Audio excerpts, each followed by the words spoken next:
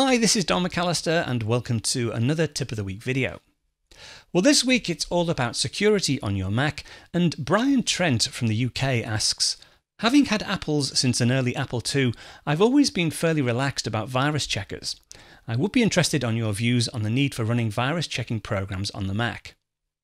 Well, Brian, I too am fairly relaxed with the need for running virus checkers, and I still think we're not quite at the point where the overhead of running a virus checker is actually worth it. Now, that's not to say things might change in the future, but with the current state of OS X and the continuing efforts of Apple to keep making OS X as secure as possible, I don't think it's actually necessary to run antivirus apps on the Mac.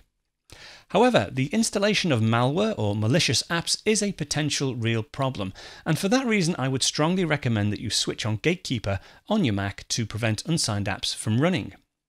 So let me start by opening System Preferences, and we'll use a Spotlight search to do that. So SYS, in fact, the first entry gets me there. And then if we go to Security and Privacy, now, under the General tab, you'll see we have this uh, option down here. This is Gatekeeper. Now, Gatekeeper was introduced in OS X Lion and builds on OS X's existing malware checks to help protect your Mac from malware and other misbehaving apps downloaded from the internet. And there are basically three options. Let's just click this lock to make changes. We'll just authenticate.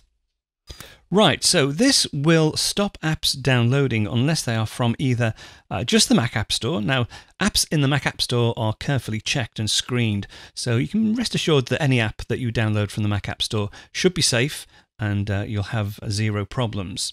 However, not everybody sells their apps through the App Store, um, but Apple does give developers um, an identifier which they can use. So, this middle option here allows you to download and install apps both from the Mac App Store and from identified developers. And the good thing is, with it being identified developers, if there is a problem with an app, Apple can actually withdraw the sort of permissions to run on your Mac and stop them from running.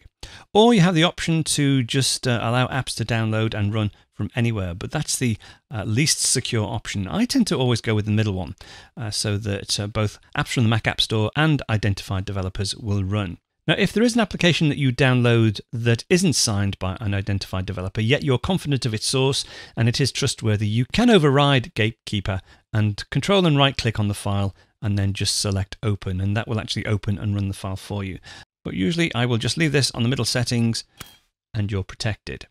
Now, if you do want to run a full blown uh, antivirus application, uh, you can actually go ahead, uh, go across to the Screencasts Online site at screencastsonline.com, do a quick search, and we've done a tutorial on an application called ClamXAV. So just search for ClamXAV. Uh, this is a fully blown antivirus package. Uh, you can just click watch now and uh, have a look at that particular video. So hopefully you found that useful and if you want to keep on top of using your Apple devices, there are over 700 full video tutorials available to Screencast Online members covering all aspects of the Mac, iPhone, iPad, Apple Watch and even the Apple TV. Now members receive a new full Apple related video tutorial each and every week, as well as a free subscription to the Screencast Online monthly magazine packed with articles and videos on getting the most out of your Apple devices.